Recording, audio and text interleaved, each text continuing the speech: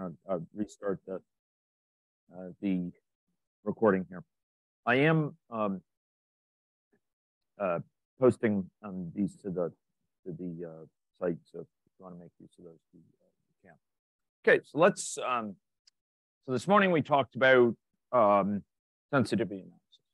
Um, sensitivity analysis that involved testing sensitivity of model outcomes in, in some uh, variety of senses against assumptions in the model. some of these assumptions were structural. Some of the assumptions were quantitative, and those some involved parameters and others involved the particular vagaries of, of the stochastic that were playing out in the model.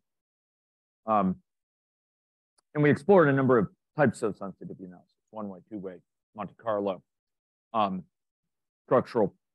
Um, and I alluded to the fact that while we were looking at fixed outcome, um, you know, often we're, we're interested in looking at multiple outcomes or, or results of scenarios. And often you can get a great deal of insight about, about sensitivity that matters by looking at scenario outcomes.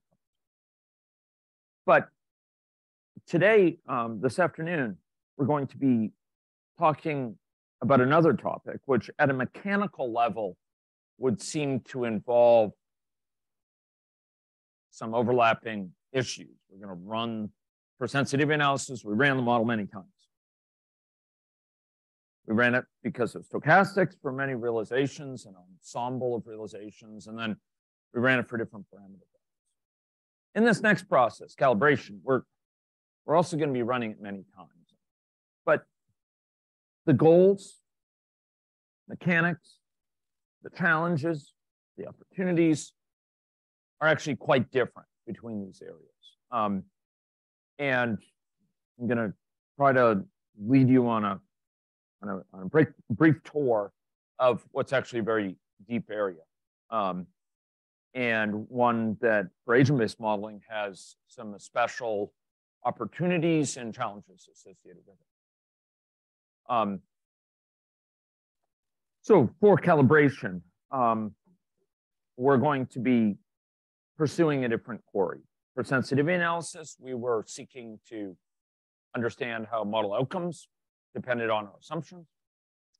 For calibration, we're seeking to adjust our assumptions, most commonly about parameters parameter value. But sometimes about the model structure itself to best and indeed adequately match model outcomes against empirical data. And in this slide, I happen to call it dealing with data gradients. And it's, it's um, you know, not a satisfactory term to me, but the basic gist is something I mentioned this morning. To wit, when we're dealing with empirical data about a system. There are dribs and drabs of this data, bits of this data that relate to particular parameters in the system, particular you know, features of the system. Um, sometimes we can find from literature, from meta-analyses, from, from systematic reviews, from, from particular primary data collection, lab experiments, trials. But often when we're dealing with a system that challenges us, we want to better manage it, we want to better control uh, the, the burden of, an, of, of a uh, chronic disease or, or prevent it. Often what we have in spades, often what we have more voluminous yet, is empirical data of observations from that system. And those observations from the system typically are not neatly cut up in a way that relates to only one parameter. They're emergent features of this system that very that motivates um, our wanting to, to, to work to improve the situation system, to understand it. When we're dealing with these complex systems, we often have many observations from different areas of the system, different quarters of the system. Maybe they're observations over time, maybe they're episodic you know, ob observations. maybe it's just expert knowledge gathered by someone, knowledge that rates are much higher in women than men, or much higher in this vulnerable minority group than in the, the broader population, or what have you. Um, we often have much knowledge uh, about the system that can't be reduced to any one parameter or any one assumption model. It results from a tangled set of these different phenomena.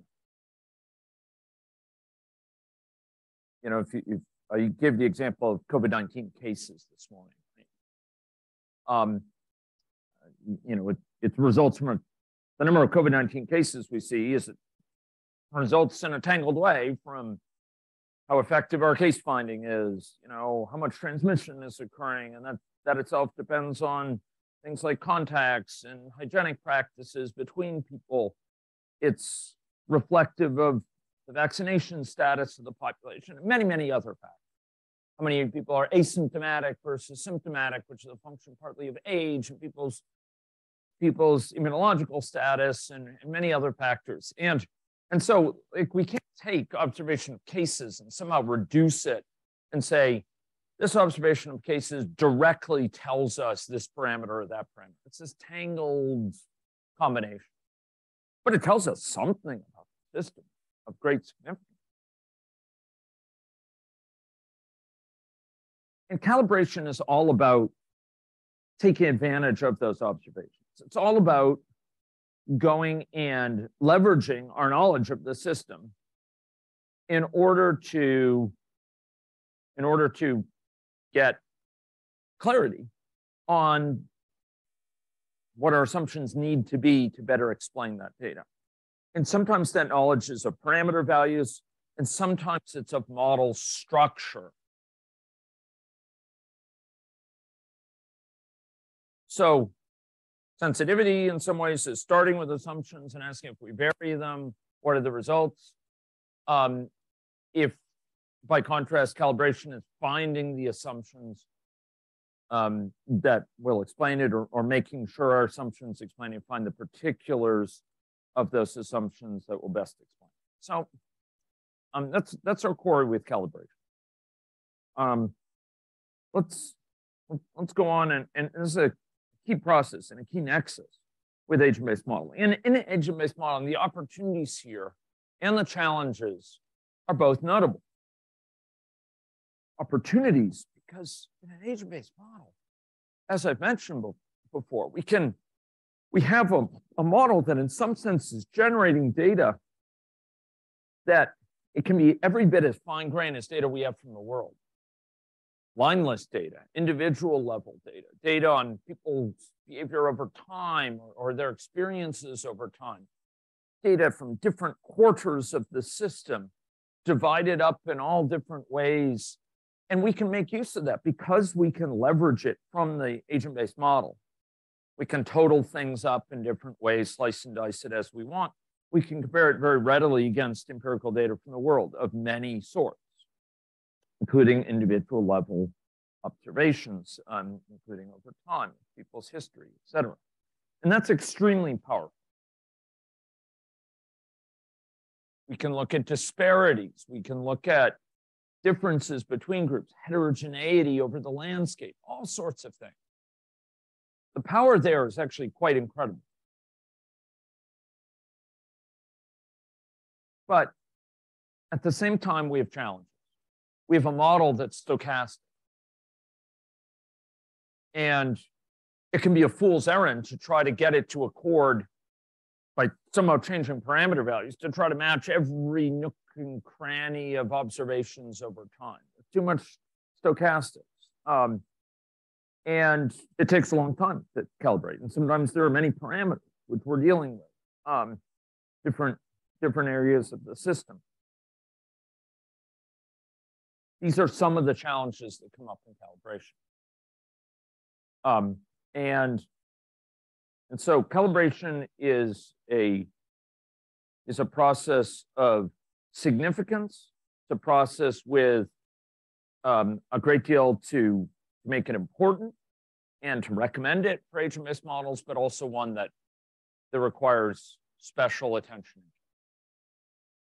And the philosophy I want to again articulate is that calibration is not just a mechanical turn the crank process that gets you parameter values that let you proceed to the next interesting stage of modeling, policy analysis or whatever, whatever it is, understanding the, the patterns you see in the population. It's not just something where we get out the goodies in the form of parameter values and move on. It's something that challenges our assumptions. And calibration will sometimes require, effective calibration, successful calibration, will sometimes require you to get out of your comfort zone and change your assumptions about the system. Sometimes require you to change your assumptions about form of structural assumptions. Sometimes change your assumptions about the values in which uh, parameters plausibly live. But at a deeper, and, and those are often the case. Many a time have I learned, you know, that my structure needs to be modified because of calibration. Many a time have I spotted as well data problems that don't come out until calibration. I could think of five or six times in my life where I have tried, thrown myself against the unforgiving walls of calibration, trying to calibrate a model, and it just does not calibrate properly. And I am wondering what is off in my mental model until I talk with the stakeholders who know this data intimately. And they smile knowingly and say, oh, yeah, um, that data is known to be problematic. Or, you know, oh, yeah, uh, so you can't match it between this year and that year. So the years that we used inconsistent you know, standards for reporting that were very different from previous years. And we counted these whole set of cases that weren't previously counted and weren't later counted. Or, yeah, we changed the definition of what counts as a kindergartner in, the, in our state, New Hampshire. Um, and uh, remember, I'd stayed up all night trying to calibrate it. Hadn't, hadn't worked. And, and they said, oh, yeah, that's, oh, that's, that's of course to be expected because we changed the definition for kindergarten to include nursery school as well, or something something weird like that. And and so the statistics change, and so that's you know that's just a weirdness of, of the data source. It's just because of inconsistent inconsistent standards, and and the, level of um, relief approaches elation in some of those cases um, because it just doesn't seem to add up. The world doesn't make sense you know, the different pieces of the elephant just don't seem to be connected. And suddenly you realize, oh, you've got two elephants here. Okay, uh, great. Um, I can understand this better. So calibration is an opportunity to discover. It's an opportunity to discover better theories, an opportunity to discover better parameter values. It's an opportunity to discover more about the data. But this doesn't always come in big pieces. It doesn't always come with a giant insight. It also, what it teaches you is to think like the model. Now that, that sounds perhaps strange. Um, but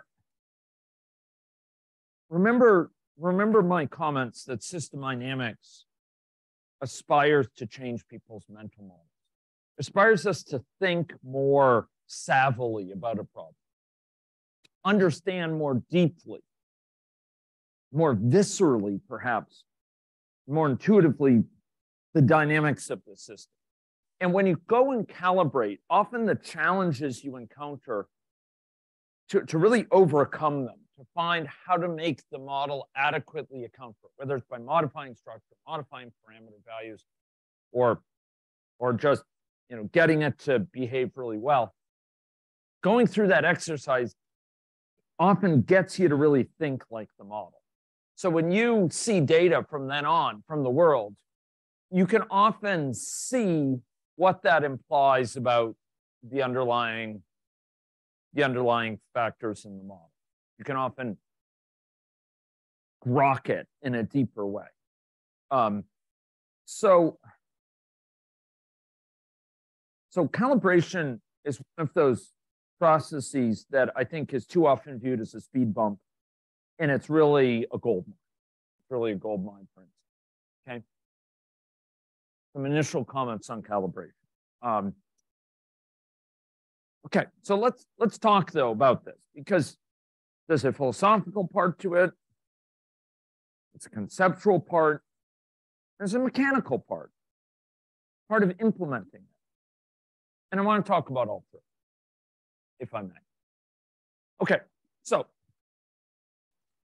let's go um, dive into some conceptual sides. I said this morning that you know when it comes to aligning our models with data in automated or semi-automated fashion, we really have two broad sets. And excuse me, I need to swivel the um, oh, forever doomed to, to tilt this the wrong way. So we're dealing with um, two broad sets of methods. Some come up with estimates for parameters that will allow the model to best match the data. Others allow us to, to take a stochastic system and understand what's probably going on now, given its range of variability. What particular situation are we in right now? What's this situation? How many undiagnosed diabetics are there? Um, how many people who have prediabetes we don't know about? Um, uh, we can kind of peer into the system and estimate these things using these methods. Um, and there are methods that combine them. But we're talking about calibration, which is in many ways by far the most common and simplest of these methods, calibration it's also extremely valuable and cal- and and, and um, powerful. So let's let's talk about uh, that if we. So um, I'm gonna shift back here. Um, okay. Um, so calibration is a process of tuning our model assumptions and most commonly parameters to best match the, the observed data. Um, the data can be a grab bag of different things. And commonly with agent-based models, it's of all different sorts. Different sorts. More so than like with a system dynamics model, where I've done extensive calibration. But you know, there you don't have patterns over space that you're trying to match typically. You don't have, you know, information on network structure like like the number of contacts found through contact tracing for for individuals or something like that. You're not you're not able to make use of that because you're dealing with big boxing gloves that can't pick up many things, and so you deal with big screws.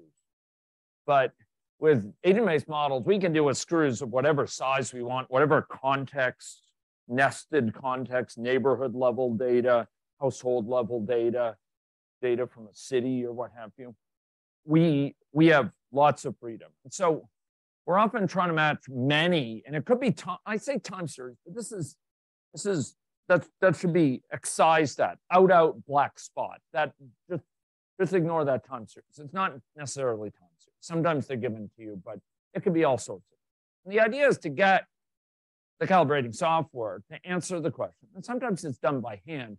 What must our assumptions be? in parameters as an example to explain all these different sources of data that I see, to accord with them at some level, at some level be consistent. Now that doesn't necessarily mean point matching, the matching them exactly at each time, but it, it means capturing their uh, the, the, their essentials.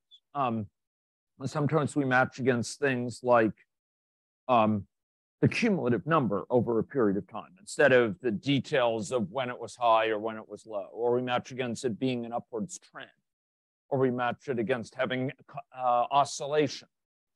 Um, we match against, in Wade's case, uh, autocorrelation undertaken in the observed data.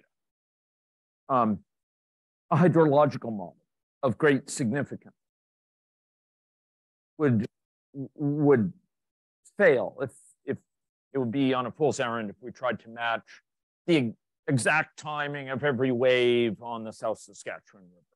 Maybe the best hydrological model in the world, but it's pointless to try to predict the exact time each wave goes up and down. There's no real significance, but we might want to capture, you know, um, some broad features of when flooding occurs or when, you know, the wave heights under different wind conditions under the bridge or, or what have you. Um, so the point is we may, broad, we may match broad features and agent-based modeling lets us be quite flexible in terms of this. Um, uh, and you know, frequently we'll learn importantly from this process. Okay. Um, so maybe someone could um, watch out for the chat as well. I'm going to try to, uh, but I'm feeling in a peripatetic mode. I'm here in my bear pit, and I don't know if I'll be, you know, watching the chat quite as often. Um, Jeff McDonald was so glad the first time I I, I stepped down under. He, he had me a bear pit. He said, I've got a bear in which you were one. And I explored it well. Um, so calibration helps us find these reasonable specifics for our dynamic It helps us lar leverage large amounts of data, data that can't go into any one parameter. We can match, we can match it with, with calibration. And it helps us challenge our model falsify them, improve them, refine them. Okay. Um, so how does it go about this? We're, we're moving from the philosophical to the conceptual. How does it go about it? Calibration at its most basic level typically involves using an optimization this is an algorithm to start somewhere and try to find better and better math. Trying to adjust, if, if you're dealing with parameter uncertainty, parameters, so that the model matches the salient features that we have identified from broad sets of data we bring to the table. Um, the data is often in the form of time series, but by no means always.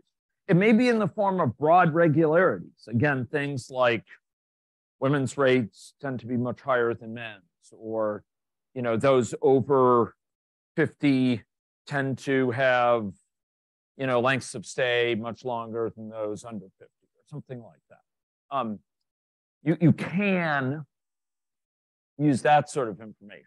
And sometimes that can be gathered from stakeholders.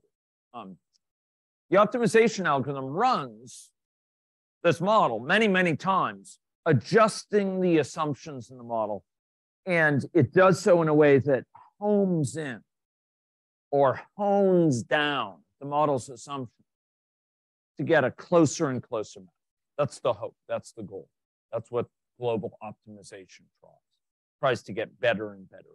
It's like it starts in the most sort of simplistic analogy. Wish I had a no real smooth surfaces here. Um, uh, so, you know, be as if, you know, we're, we're starting, um, we're starting up something like this, and it's starting at here at the, can I, can I see that over the, um, yeah, can, okay, cool. I can see at least parts of it.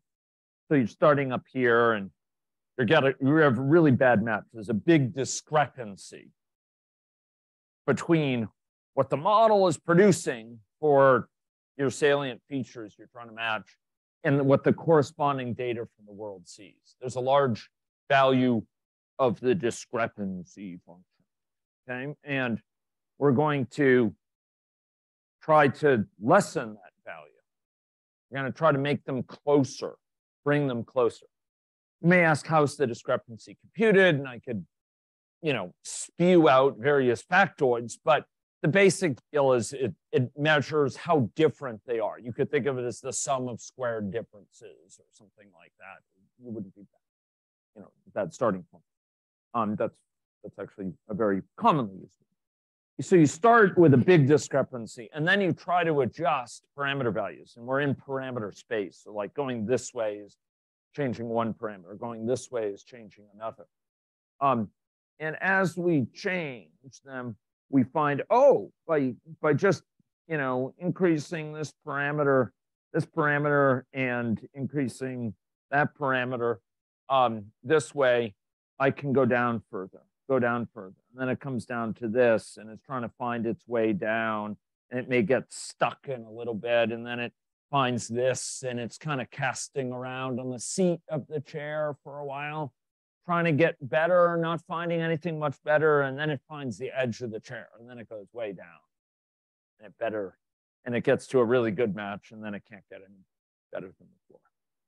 Okay. Um, so that's the general idea. It's optimizing in the sense it's working to reduce the different, the discrepancy, the, the error function, the objective function. It's trying to minimize this, the disparate nature of, of these two, to adjust assumptions in the model so that the outcome of the model best matches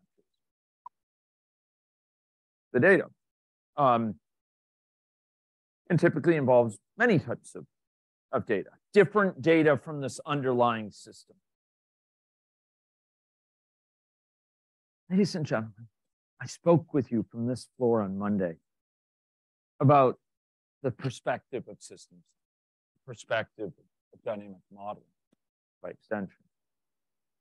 With dynamic modeling, we're concerned about the data generating process that gives rise to data.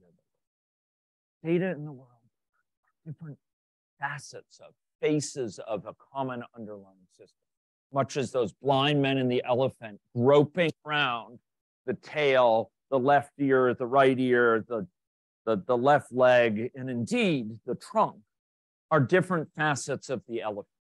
We're trying to understand the elephant. We recognize that there is some connection between these. These are not solitudes. And so it is with our perspective you know, on, on dynamical systems. And when we're engaged in calibration, we're dealing with multiple measurements from this elephant. And we're trying to figure out how to put that puzzle together so it all jives, it all makes sense. Hmm? Um, some of my students have picked up my terminology here, and but with an unfortunate twist. Um, and I, I need to disabuse them of that. But um, instead of saying that it jives, they say it jives and jive, jiving is not what we're trying to do. We're trying to make a jive, like match it up really well. Jiving would be if it, you know, engaged in hip hop or something. Um, but um, here we're trying to make the model output align with observations in the world as close as possible. Um, and we're trying to find a theory of the world and its particulars that makes all these observations in the world make sense that it says, oh, of course, it's just like that. That's where we must be on the map because we see these five mountains around us in sort of way. It all makes sense. That's the idea. Um, and the optimization is tuning um, uh, and trying to find this consistent theory by adjusting parameter values. So we're operating here in parameter space, this space where, you know, we we have different model assumptions with respect to parameter beta and mu and tau. Um, and, and at different points in parameter space, the model will behave differently. We have different values of the parameter. It will output different outcomes, right?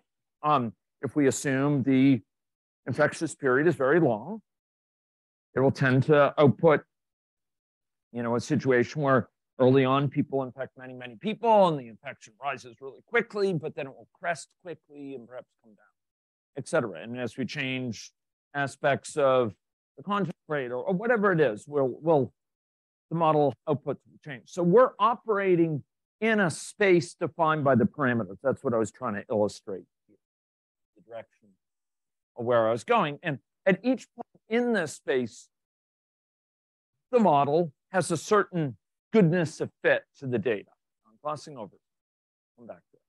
Certain goodness of fit. That's the idea, right? Like you run it and and you get some output and you compare it against the empirical data and you see a discrepancy.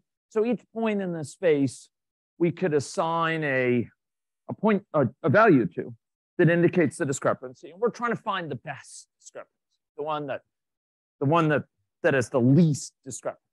Make sense? I was applying that. stochastic form. We'll come to, right? Um, okay. Um, so we need some way of quantifying this goodness of fit, right? We have to some discrepancy. And I'm not going to go into this in detail, but really you want a discrepancy function that's savvy, or at least not naive.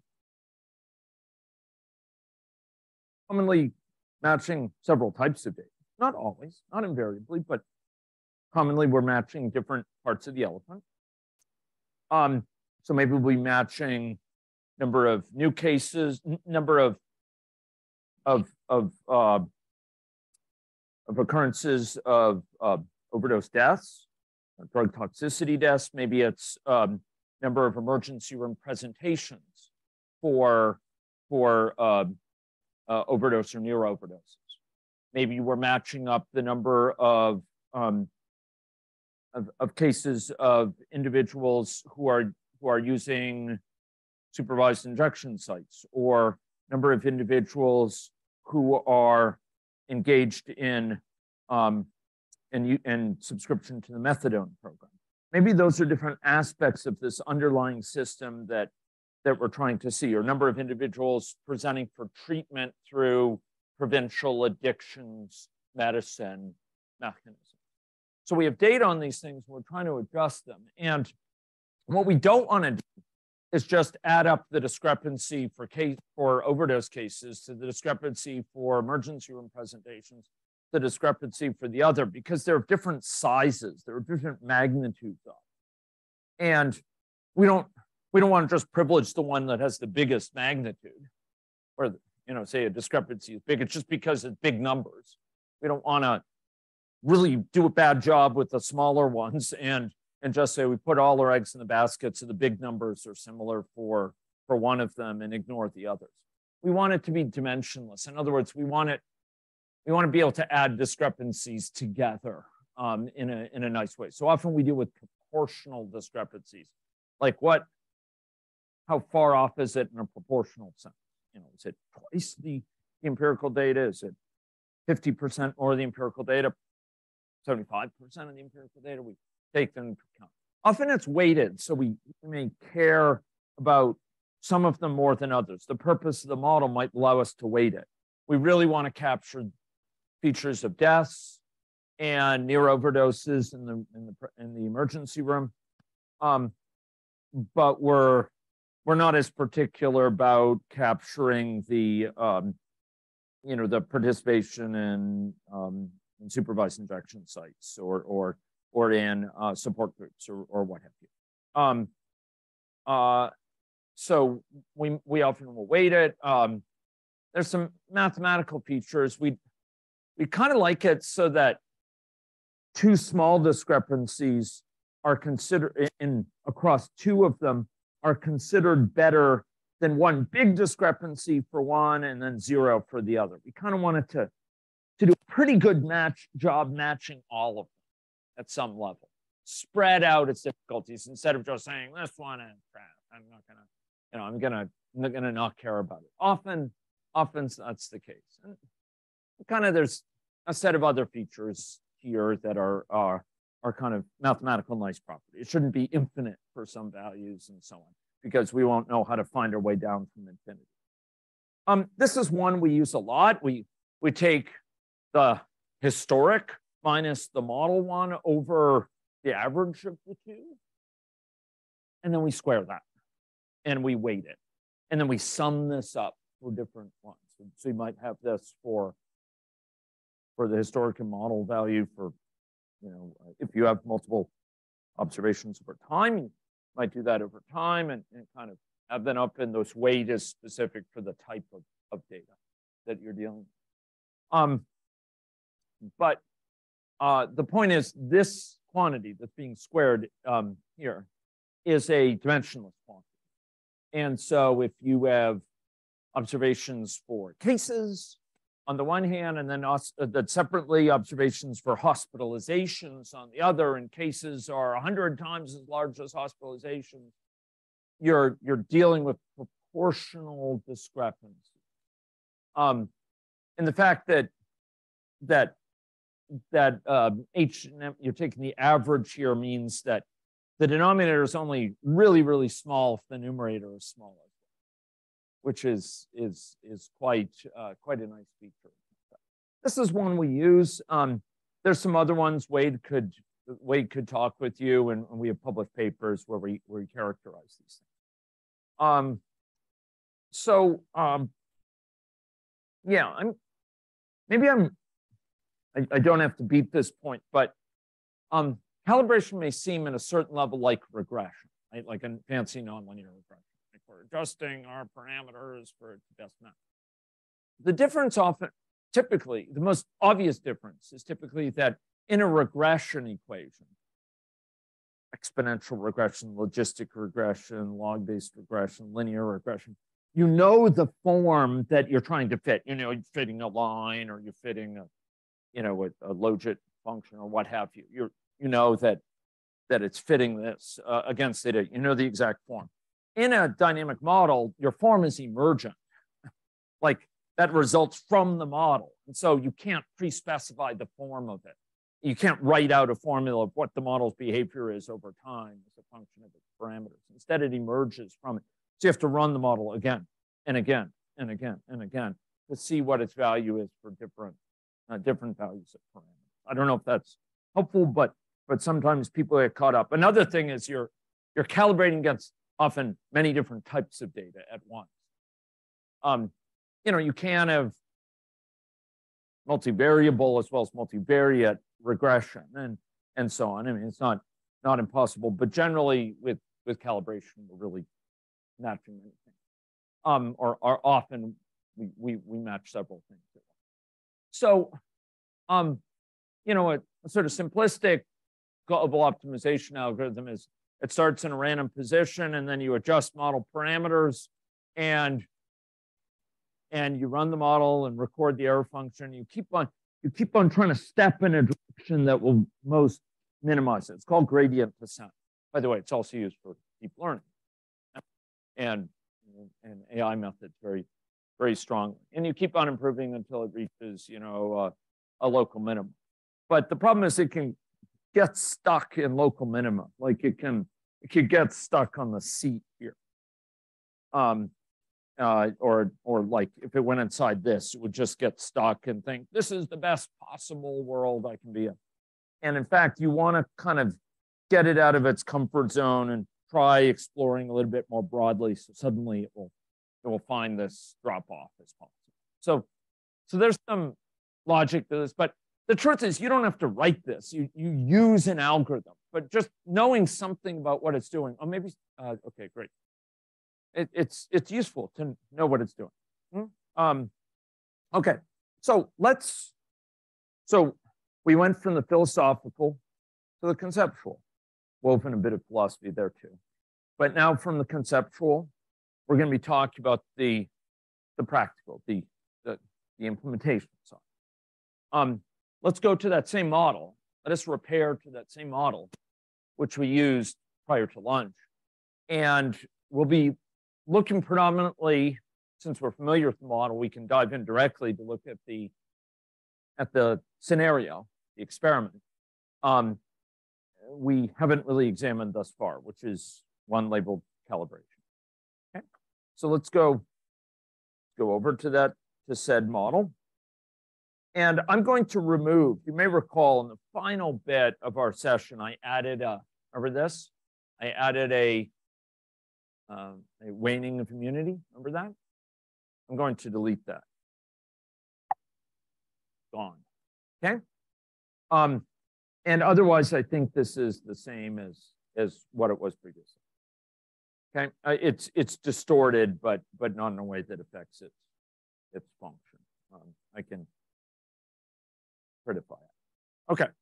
Um, okay, so we have this model, and and you'll recall it, and we've thus far for sensitivity analysis, where we're seeing how model outcomes depend on model assumptions. Um, we were using this experimenter scenario. Now we're going to calibration. Okay.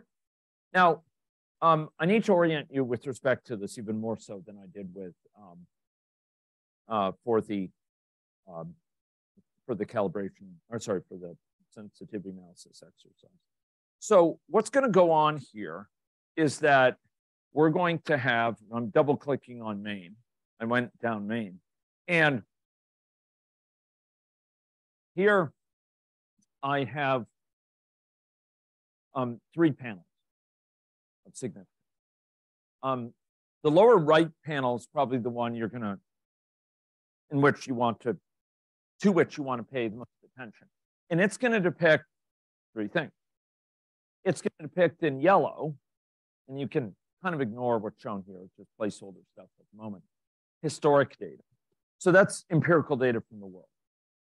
And, and for simplicity, we're just to be matching one type of data, uh, but a time series of said data. Here, it's going to be yellow.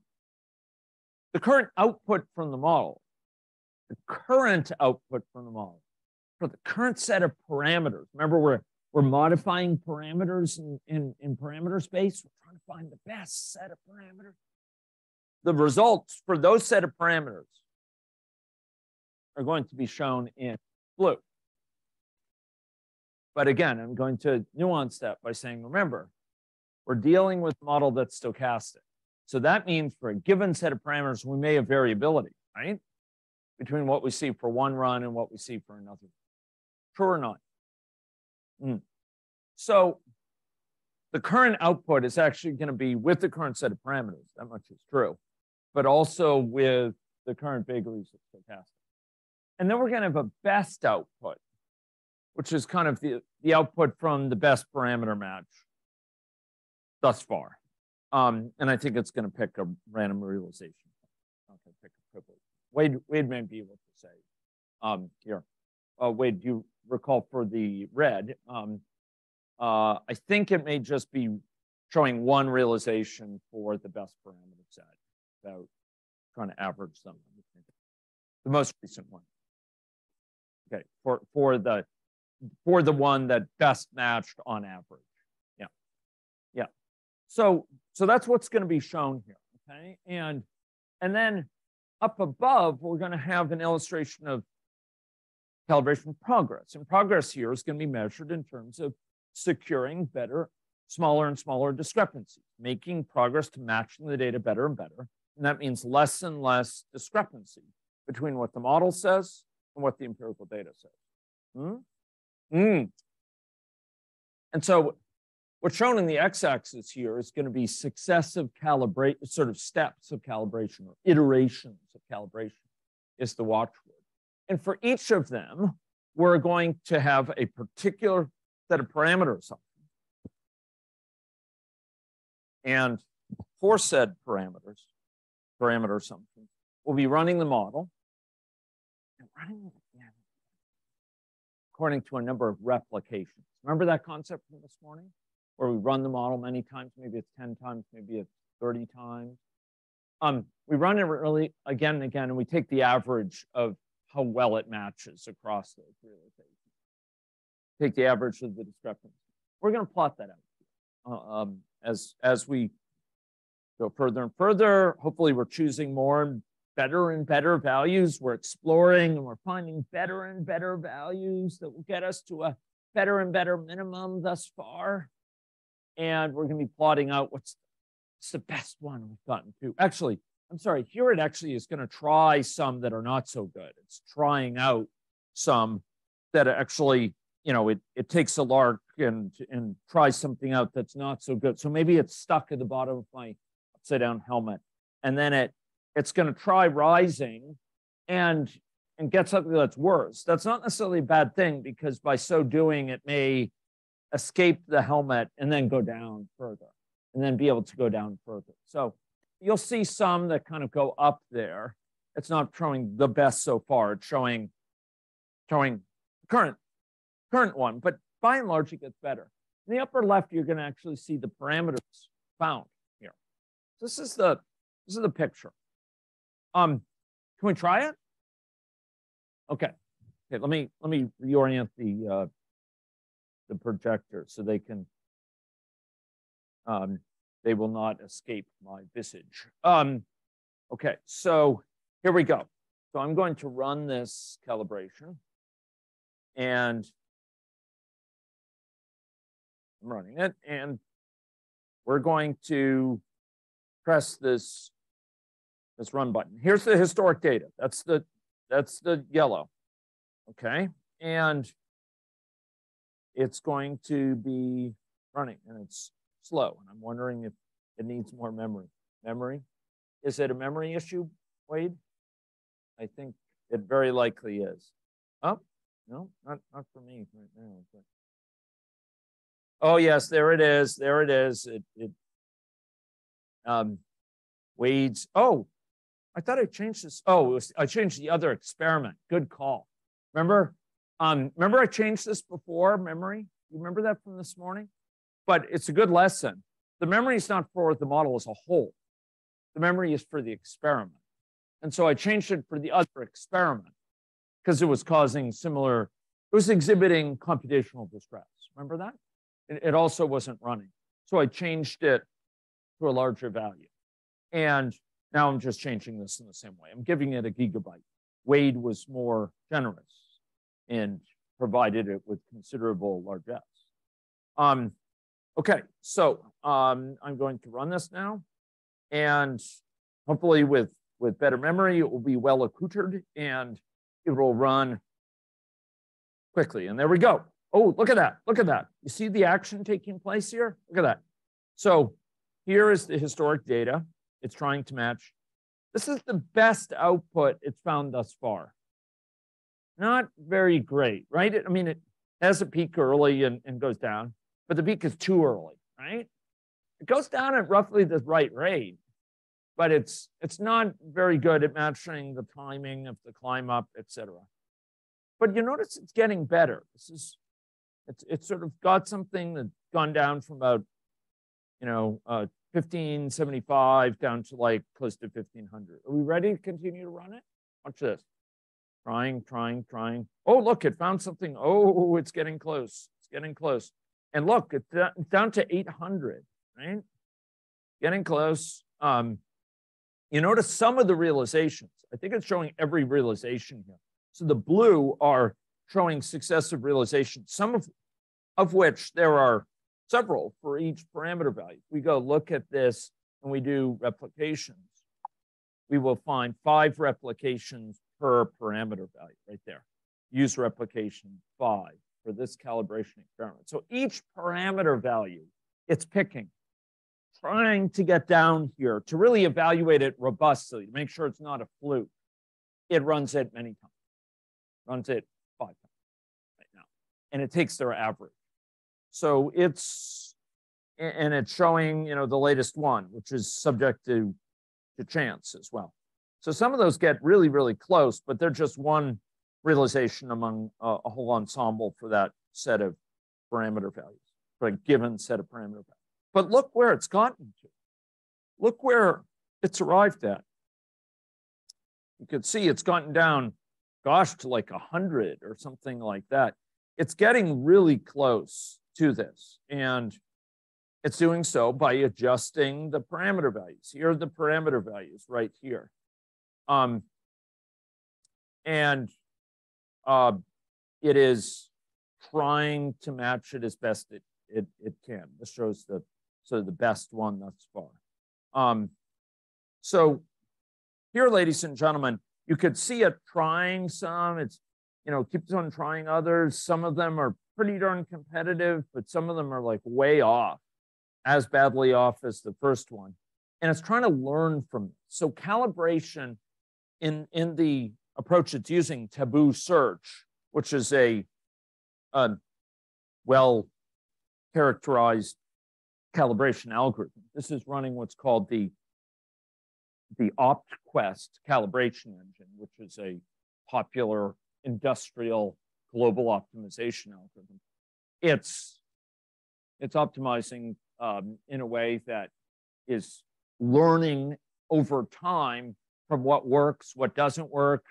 I think it actually combines, if it worked really well for this one and then really well for a very different one, it tries to do combinations of them at some level, trying to find something, learning from both that will be also pretty good, et cetera. It's not it's not just finding the best one so far and just resting on that laurel. It's, it's actually trying to consciously sort of find, find better matches.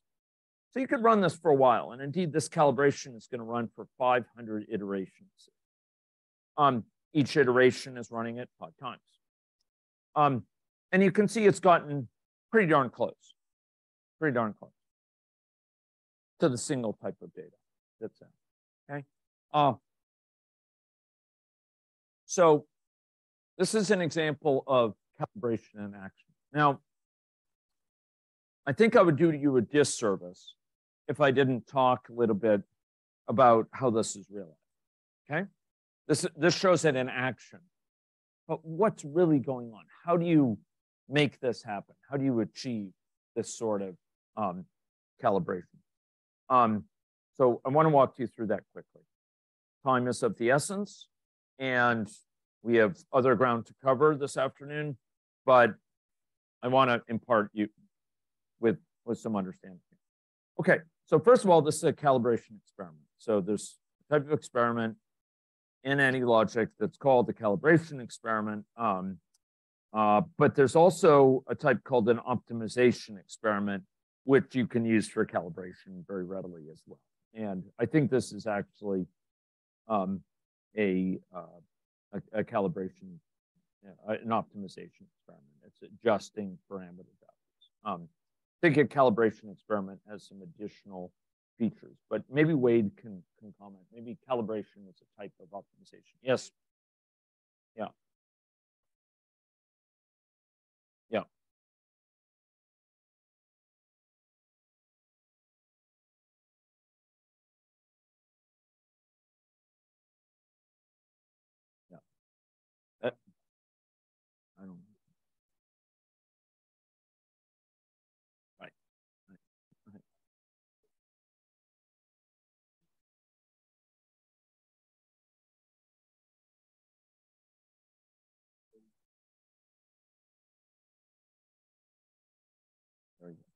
Very good.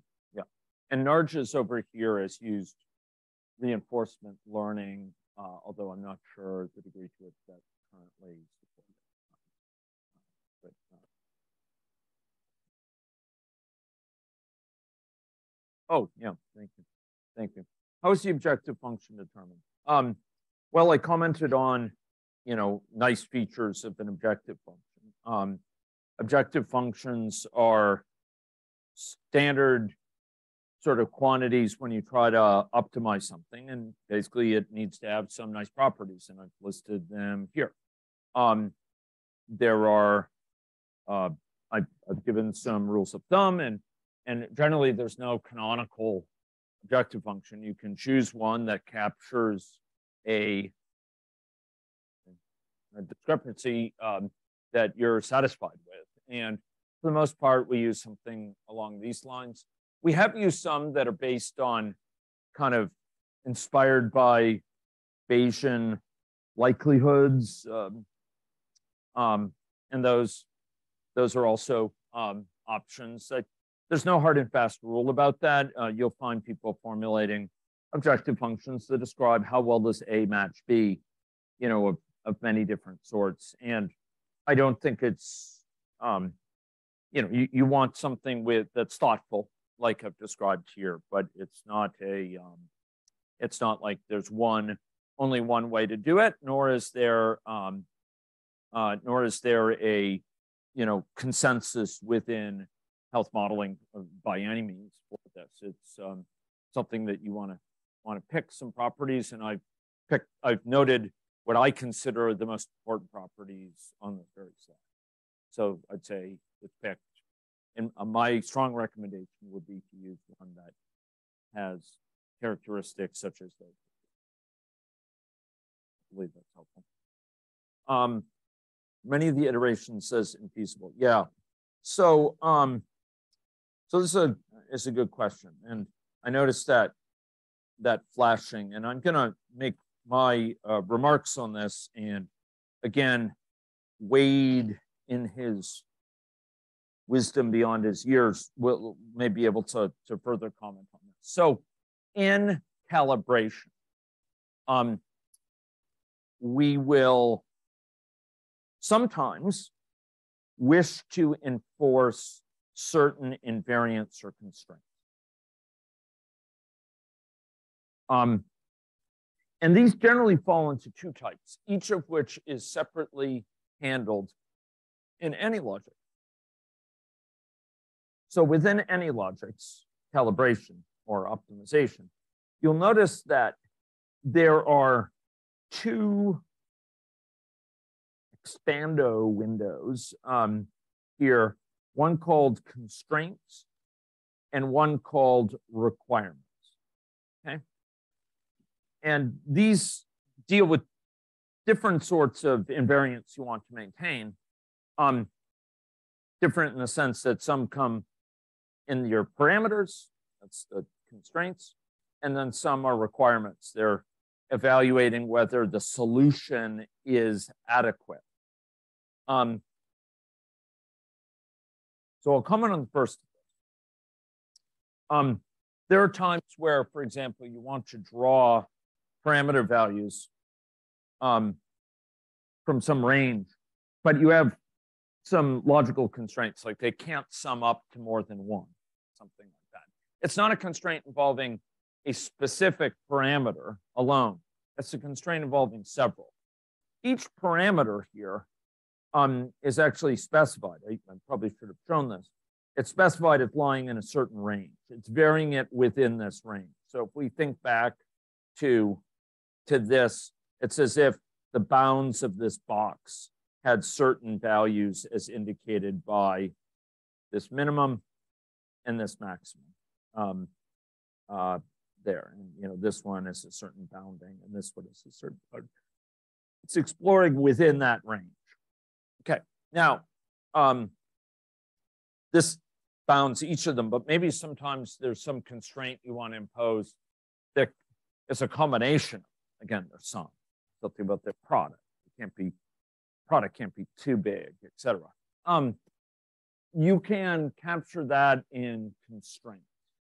So basically, it will check if the parameters that are being used are suitable as a whole that goes beyond you know the value of any one parameter. Um, so you can have an expression that's that's put and, and say it has to live in some bounds. And if it comes up with parameter values that are outside those rules, it will, will say, I'm not going to run this. That's not worth examining. An example might be also if a parameter goes negative, right? Maybe, maybe it doesn't make sense for negative for the sum of them to be negative. Um, requirements um, are tested in a way that you're evaluating whether the results make sense, whether they are, you know, whether they're sensible, whether they're meaningful. Um, and here, sometimes you have emergent behavior where you want to maintain certain um, basic features of the situation. Maybe it's some historical situation. Um, Maybe it's something about the numerical stability, so you don't want it to go negative or something. Um, maybe you never want it for plausibility to have a peak above a certain level. Some of these things you could build into the objective function, the discrepancy function. But for many of them, you well, for some of them, you might find it easier to just toss things out that don't match a certain level of quality. Um, and um, that is something which can be done in requirements. Um, you could try to do it in objective function, but there are times like where, like if something goes negative, you want to say it's like, this is like infinitely bad or something like that. It's, it's like bad, bad, bad. I don't want to consider this at all. I don't want to learn from this. I basically throw this away. It's not, it's not adequate. It's, it's in, you know, it's improper uh, results. And these things come up quite a bit, actually. Um, um, even some things like women, you know, it should be higher in women than men. You might want to throw away things where when men have it, uh, you know, have a higher value than women for it. Um, because you know that they're they're not acceptable. Um, so you can you can use this to toss away values um, that are not uh, not adequate. Now, as to why it was flashing in this way, saying infeasible, infeasible, um, uh, you know, I I actually didn't remember that, and uh, I'll ask Wade if if uh, he has any thoughts or if he could look into it, because right now I was thinking it might be one of these requirements, but I don't see it. But Wade may have a sage comment.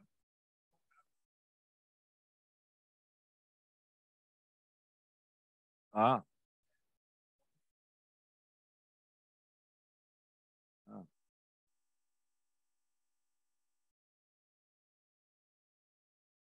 Ah, okay. Okay.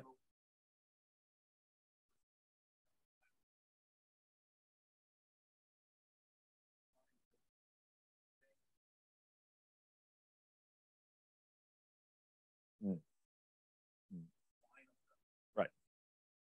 Got it. Yeah, so it's not indicating some sort of deep flaw about the assumptions or some problematic model behavior. What this is actually, when it's updating this in the upper left, it, it is basically indicating it's not ready yet to give a value for current here because the replications, the five of them that are required per the, the replications elements here haven't yet completed. So it's saying, I'm not ready yet. I'm not ready yet. You know, don't don't hurry me. I'm not ready yet. Um, you know, I'll tell you in in, in the fullness of time.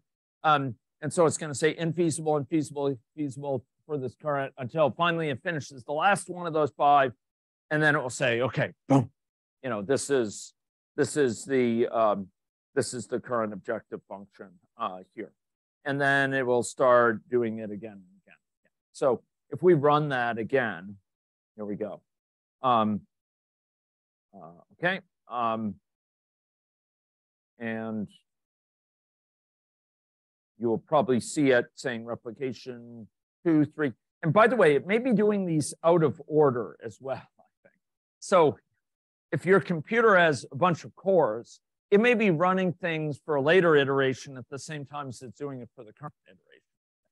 It may be really savvy about using your computer to its fullest speculatively, like as to what, you know, what, what to, um, uh, you know, if, if this turns out to be really good, you know, this is where I'd go next. If this turns out to be bad, I'd go next there, what have you. And it's, it's running some for that. So I think this, this is kind of a bookkeeping infeasible, not a not a deep infeasible. But the truth is, um, this notion of feasibility comes up very squarely when it comes to um, the uh, the requirements area. And I will tell you that Kurt Kreuger, who will speak with us shortly, um, is makes use of in running the current iteration of the COVID 19 model, originally architected by Wade and built by Wade and you know managed by Wade for, for six months and then supported by Wade to some degree after that as well. Um, uh, that these days, there's a fair bit of pruning of the runs based on fidelity to historic data. Um, but I think that comes in particularly at the running phase, running calibration sort of the results of calibration. Um, uh, so, so uh, I'm going to make a comment here. Okay. Um, when you're calibrating, you're calibrating to historic data. Hmm? Um, and you're trying to find the best set of parameters, the one that here on average match the observed data as, as well as possible. By I say on average because you get if you run it once, twice, three times, you get somewhat different results, right? Look at the one on average. Okay. Um, but bear in mind that when we're evaluating, um, we, we find the best set of parameters, the one that has the best average. And then we run it for that over that historic period where we for which we calibrated. we can't assume that it's going to be a really good match because we'll get a different realization that time. Well, well different favor. So what Kurt does, I think a fair bit, is trim off, like he'll run it historically over that period to which it's calibrated. And the ones that don't accord with that data, at least fairly well, get thrown away, thrown away, thrown away, thrown away. So that, you know, it matches very well over that data period. Um, uh, and it's calibrated, of course. And then he, and, and, you know, he could probably comment on that more because I think this is like in his bones now and uh, he's he's uh, you know, exceptional in his capabilities. Um, okay, um, so just some thoughts. Um, okay, so so let's let's try to explore this uh, some more. Um, so uh, this is a calibration experiment, and it's set up to define a objective function. This is actually a built-in difference is a is a built-in function of AnyLogic that will take the sum squared differences. Maybe you'll take the square root as well. And, um, and it's comparing one data set versus another. Remember we learned about data sets? So it actually has read in the historic data into a data set. You'll find other videos of me explaining where this is. By the way, I did control and I clicked on it and it brought me to the data set when this model starts running, it reads, basically it reads the data in this, what's called the table function. Looks like this. If that looks familiar, it's with good reason.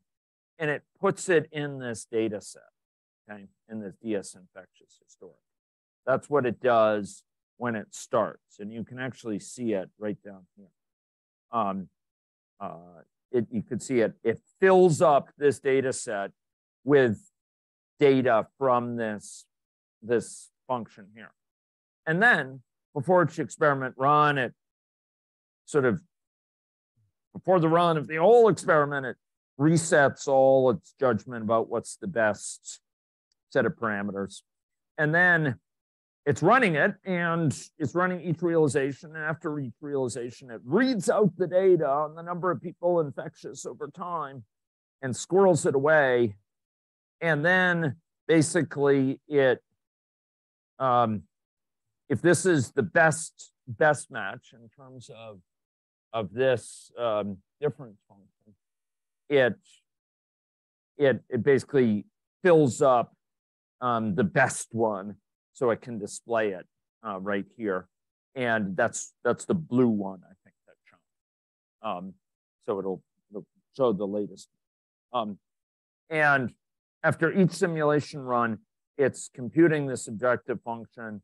And once it finishes all the replications for a given iteration, given set of parameter values, it averages them um, to, to compare how good they are with others. And um, and and that's that's done uh, in association with the OptQuest uh, engine, and and then then it can figure out, hey, you know, is this current iteration the best one thus far?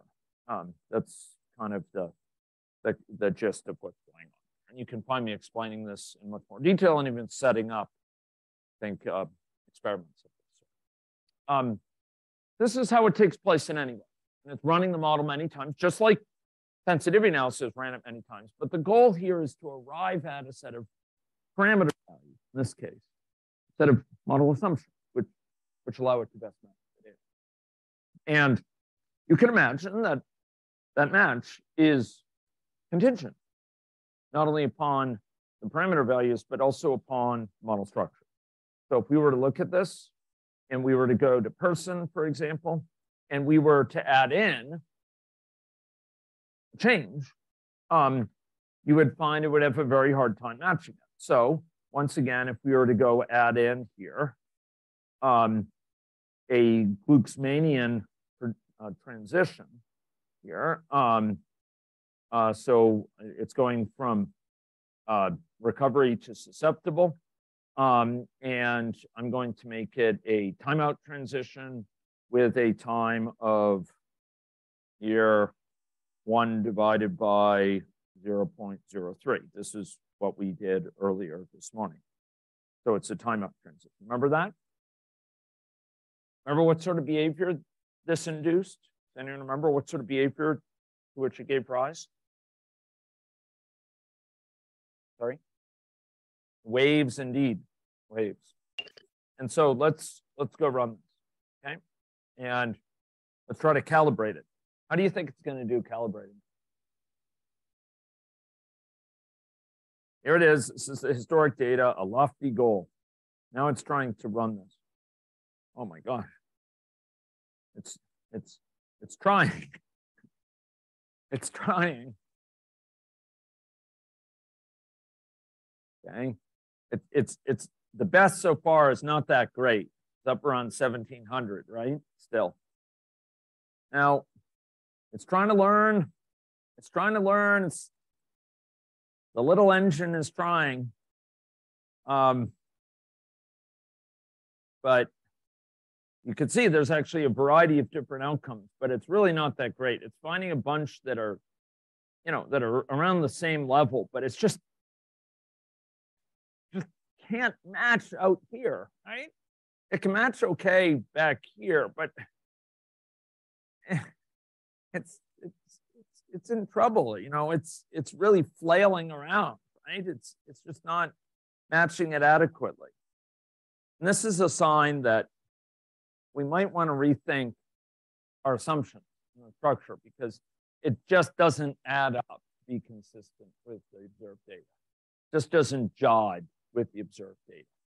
It just doesn't align with it, not consistent with it. Um, and the calibration forces us to kind of square with the fact that even if we adjust parameter values over pretty wide ranges, we're not going to not going to be able to um, to get it to match very well. Um, so um, here, um, uh, you know, we have a lot of, so I provide a lot of details of, of some of the specifics here. Um, but, um, you know, I, I should note that there's this distinction between the experiment and the, the simulation. Um, uh, and a given replication. I think actually simulation here is referring to particular realization uh, or replication here. Um, so, so even though this says simulation scenario, we're, we're dealing here with a scenario with many particular runs. Um, right. Um, and there are some, um, some mechanisms for trying to pick in an automatic savvy way the number of replications you need. So it won't, if it doesn't need many replications because the data is not highly variable, it, it will use fewer and otherwise it will use more. Um, and I, I go through kind of the reasoning about that. So basically, it, it's going to try to run enough so the confidence interval for the mean lies within a certain percent of of the um, of the the the sample the sample mean. Um, um, you, you, you, could see you want a, conf a certain confidence level, and um, you need it to, to to lie within a certain error error percent. The confidence interval falls within a certain error percentage around the uh, the, the, sample mean. Um, okay. Um, uh, right. Um, so I do want to say that, look, um, a couple broad features. First of all, it is running it for each replication or each realization, so you can observe that. And, you know, this is kind of the, the most less, least textured of, of these. Um, uh, it's, um, you know, often we have mul multiple things we're trying to match at once, and we, we would there add these parameter values together, add them together in a weighted way. But we would take the, we wouldn't just take the difference, we would normalize it so that we, are, we aren't just, again, favoring the thing that's largest and where the discrepancies are, in an absolute sense, the largest. So a couple considerations. If your model is having trouble um, finding a unique set of parameters that create a good result, um, you can add in more data, and that constrains the interpretation. You add in more evidence, and it gives the model more reason to pick one set of parameters compared to another, more evidence for choosing parameters. Um, adding parameters to tune, you add, you say, you know, match, match me these 10 parameters. It's going to have a really large space to explore. It's kind of like exploring along a line versus exploring in a so so along a line would be one parameter. I'm analogizing that to one one parameter. All it has to do is search for the best value of that one parameter. Just to, has to search, say, within a given fixed range as specified by you, as specified over here. Um, uh, um, right, right here, specified in this range min and max. One parameter, you're just searching along a line. You're trying to find the best. Two parameters, you're searching a rectangle. You've got one parameter here and you've got one parameter here, and you're trying to find the best place here where the discrepancy is least. Hmm? Trying to find the one where it's most sweet spot got the best value of this parameter and the best value of this.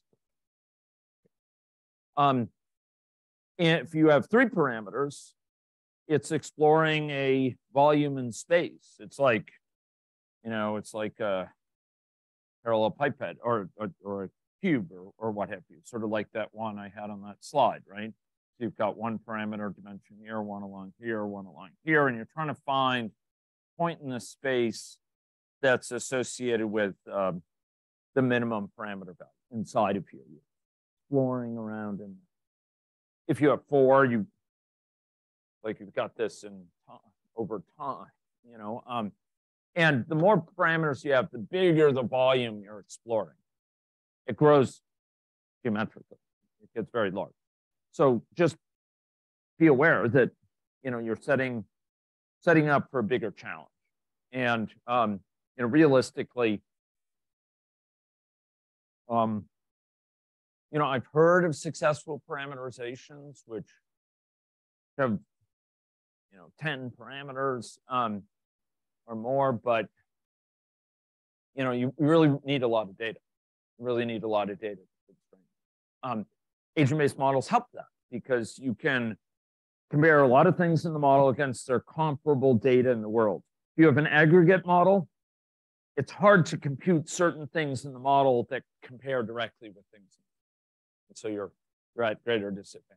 Um, um, it is possible, this is pretty advanced, but if anyone out there is looking for more advanced topics, it is possible to reduce the number of parameters for your model through de-dimensionalization of the model. It's a rather nice trick. Um, you can reduce the number of things you have to calibrate or have to do sensitivity analysis on in a very, very nice way. Um, uh, and that can be helpful if you if you want to try to reduce by two or three the number of parameters. Um, um, so I argued from this floor this morning that calibration is about learning. In fact, I said that after lunch. Calibration is not a speed bump on the way to a working model It's not a inconvenient rest stop while you, you know, get get ready for your model to do what's interesting. This is our chance often to learn. It's our chance to learn about the reliability of data, the reliability of assumptions, parameters that, that have to have to you know have certain values to learn about the system, to learn what theory, the details of the theory that will adequately allow us to to explain simultaneously all this data we're trying to map. All these observations in the world, we want to find theory that will, theory of everything, theory that will explain all these different at once, consistently. And, and if you get in trouble, if you can't get it to adequately match, there's, there's a whole process that you can start to track it down scientifically. It reminds me a lot of debugging. Um, it reminds me a lot, you, you develop hypotheses for why it's off. You try, you try to change things. You try to outsmart the calibration. You say, why is it doing such a lousy job? I think I can do better. I'm going to pick this parameter and that parameter. And then you see what it gives and you say, oh my God, I didn't realize that's what would result. And it improves your thinking, right? Like it, it, it advances your sharpness of your thinking. So then you try to do something else. You, you say, oh, I'm better than you. I can figure it out. And, and you, you start learning how the model works. Like you start thinking like the model. You realize the model's not going to like this because you squeeze here, it's going to pop out there. In order to match this, it'll need to, given the model logic right now, it'll need to posit this really weird thing, which won't jibe with that data. So you start to, to learn to do this. So, you know, um, often I adopt the best values that it gave thus far, and then I try to adjust them, and I, I try to outsmart it. And, you know, typically I, I discovered, oh, okay, that's why it's stuck.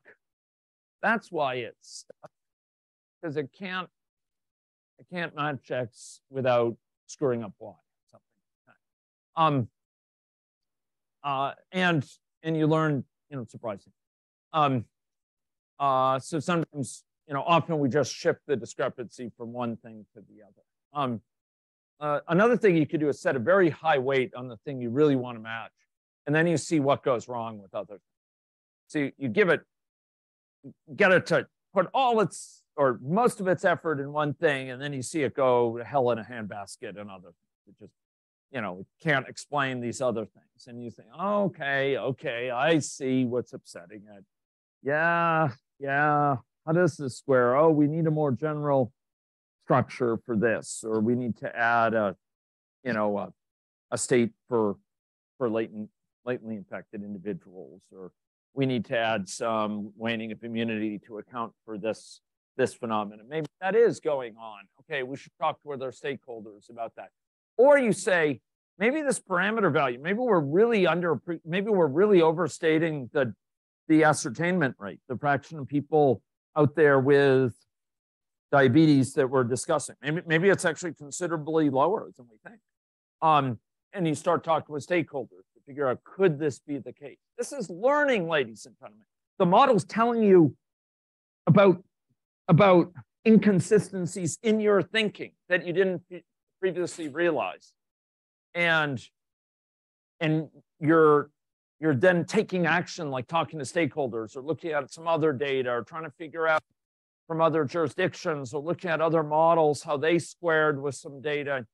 And it's forcing you to think differently. It's advancing your mental model. And even if it takes you a while, success in the modeling. Yeah, Michael.